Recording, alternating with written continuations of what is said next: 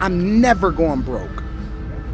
If I and if I lost everything today, I'd have it all back tomorrow because I understand how money works. So I try to have that balance. I try to make the world a better place by pouring into people, right? Adding value to people's lives, doing things that's all uh, that's going to generate or build future people that also have good character along with it.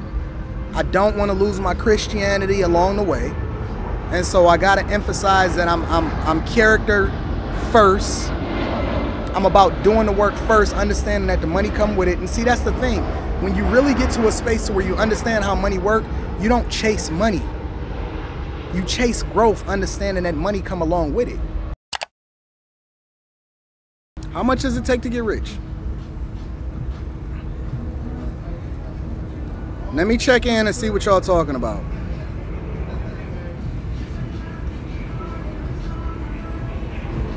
How much does it take?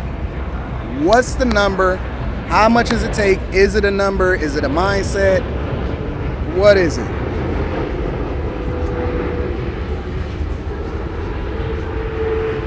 I appreciate it. How much does it take? How much does it take to consider yourself past that threshold? I want to see what y'all talking about. I'm gonna check in the chat before I before I give you my assessment. Um, let's say I wonder why people feel the need to know somebody's personal info, especially money. Just seems so personal.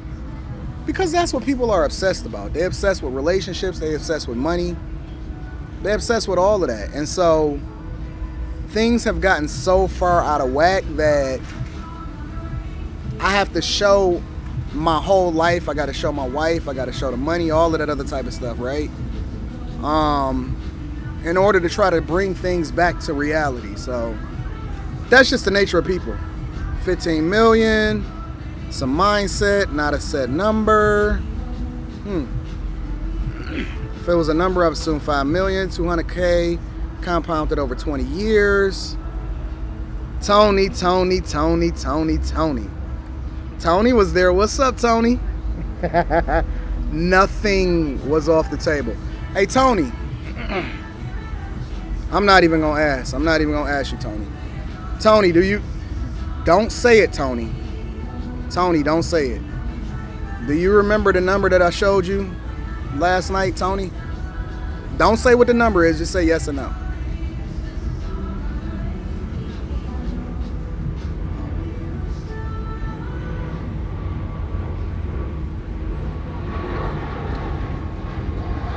Brittany said $30 an hour for her is simple. Khaled said being rich is 10 million. Delvin said 10 M's.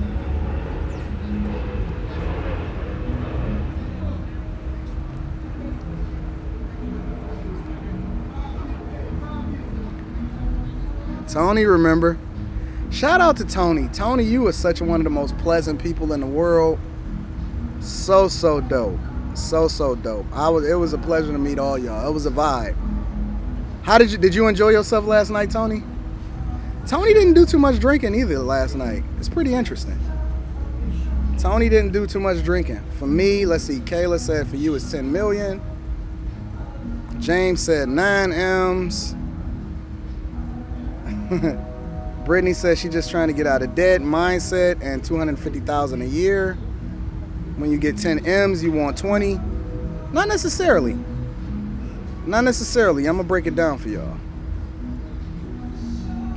Miss Jennifer said 5 M's, 25 M's, 10,000 a month, 10 M's, 10 billion liquid. Rita, you late because you was getting that massage over there. Being rich is being able to do what you want when you want. I'm saying character over money. You could have millions and be in debt.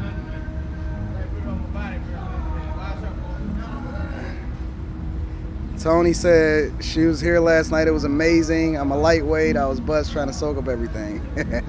All right, so let me tell you. Let me tell you what what being rich is, in my personal opinion. In my personal opinion,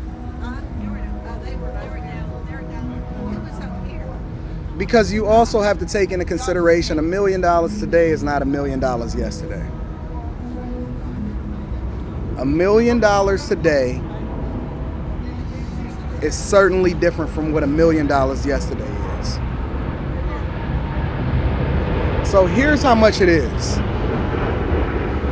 Being rich is once you've permanently, I'm gonna say it again, and then I'm gonna break it all the way down for y'all. Being rich and is when you've permanently bought your time back. When you permanently bought your time back. So let me let me let me break it down because some people said being rich isn't about money.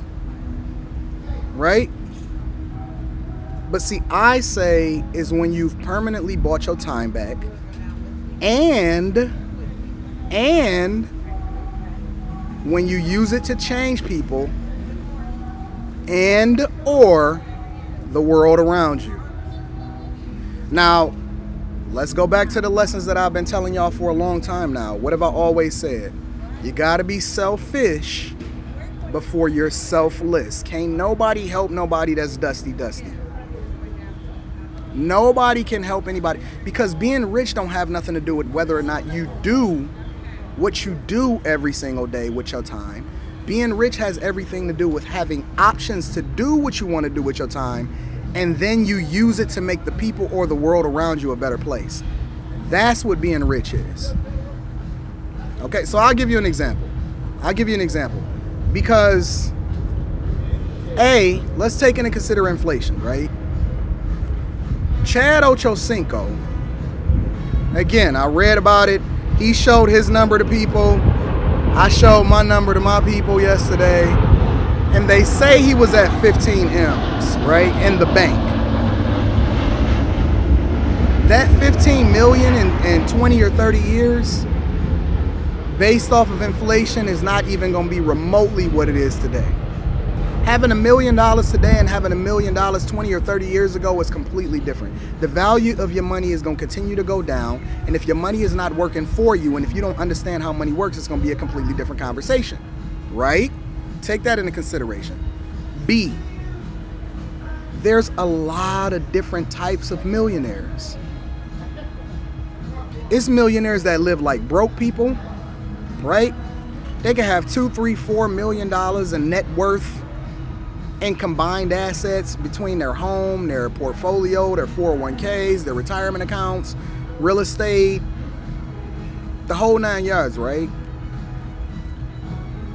And a lot of times, especially people that's come from a generation like, uh, if you've ever talked to people a lot a long time ago that come from, or their parents was born in the depression or something like that, they come from a space where they're they're grasping on and they're holding on to this money and they don't know how to balance out the lifestyle and truly enjoying it. So they'll die with that net worth being worth two or three or four million dollars when it doesn't necessarily mean anything or they didn't use it to change the world around them. It just gave them a sense of security. There's people that, what is his name? Manny Khoshbin or something like that, right? Flashy. Got a ton of money. Crazy, right? Real talk. There's people that walk around and they live it. They truly embrace it, but then they don't have any sense of community when it comes to actually making the world a better place. It's just a sense of I need this and I need to continue to do this because it gives me a sense of being able to conquer and own the world. It's a completely different mindset from the other millionaire that don't even know how to take a vacation when it's time to take a vacation because them having that money is a sense of security and then they're just trying to figure out how it is that they cannot go broke by the end of the time by the end of their time. It's a lot of different types of millionaires. Real talk. It's some people that became millionaires simply because the way in which their money works is just automatic.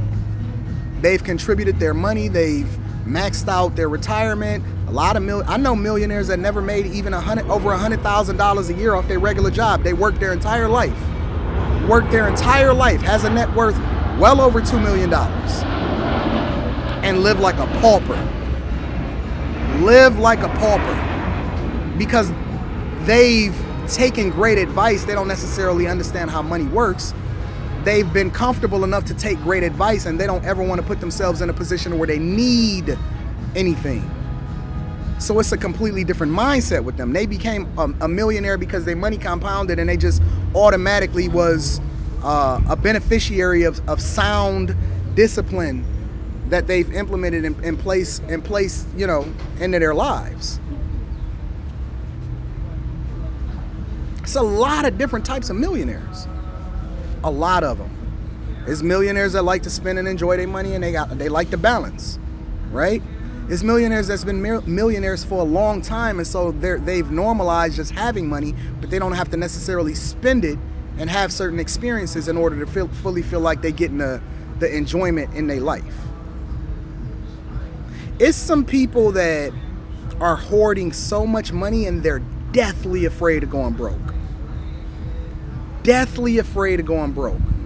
And that's the way in which they go about doing things, and that's the way they see you know, being a millionaire, they don't even think about money. They don't think about the fact that they are a millionaire. They're just thinking about the possibility of how they can live the rest of their life. Granted that they grow to be 100 years old without ever having to, you know, how can they not be able to pull down $80,000 and take care of their daughter? That's a grown woman that don't know how to take care of herself. These are rich people problems. This is real life. I know so many different types of these dudes. I grew up meeting these dudes. I knew dudes in a plant that was like 78, almost 80 years old. Dude was electrician. He was an electrician for a long time. He lived like a pauper. He drove one of the raggediest cars that I've ever, ever seen in my life. When we found out that when he passed away, all of his money wound up going to the church. He didn't even care about the money. It just accumulated it. They so scared of losing it and not being rich anymore. It's people, listen, I've had friends that come on a platform and they say the only thing that they ever fear is the IRS. Deathly afraid of the IRS. It's people that, listen, I know people that know how to make a million dollars without even blinking their eyes, without blinking twice. And then there's other people that understand how money work, how money work. Millionaires on paper. Don't care nothing about cash. It's other people that they go to an extreme in order to wear their money.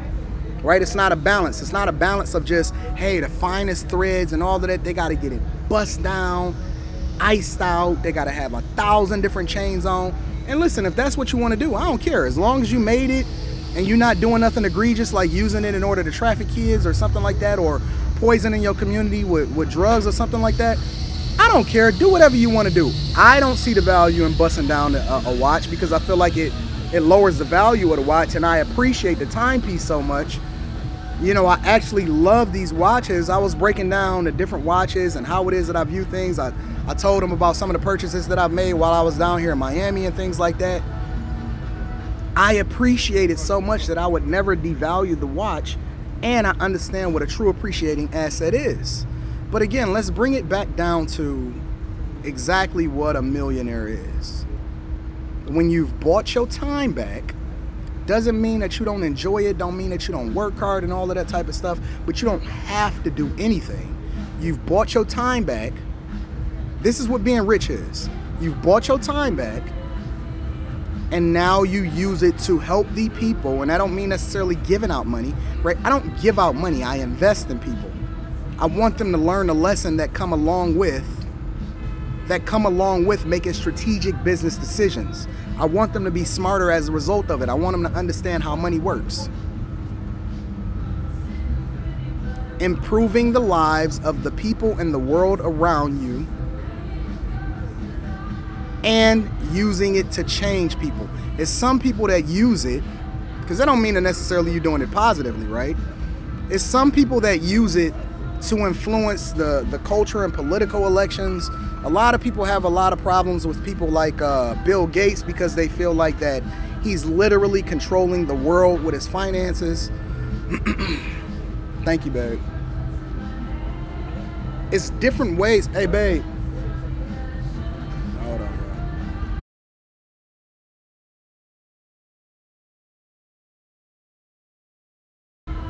got a flight to catch. I don't need y'all knowing what time my flights are and all of that.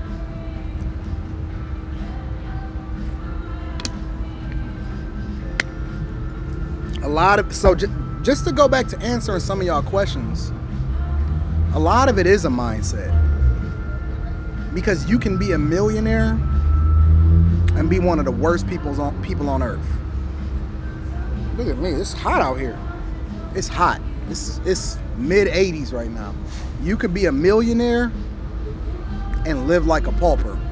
You can be a millionaire and get every one of your cars gold plated.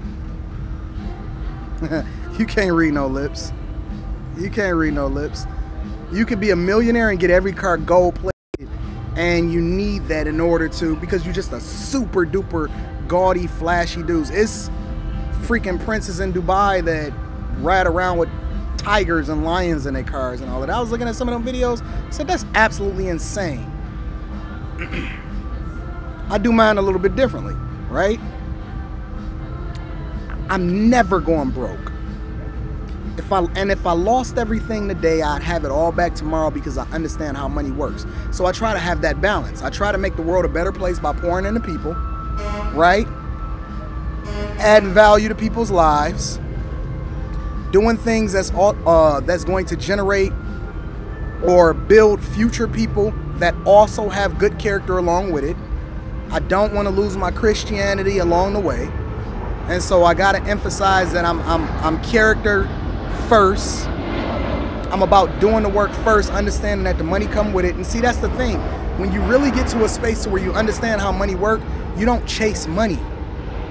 You chase growth, understanding that money come along with it. It's a completely different mindset.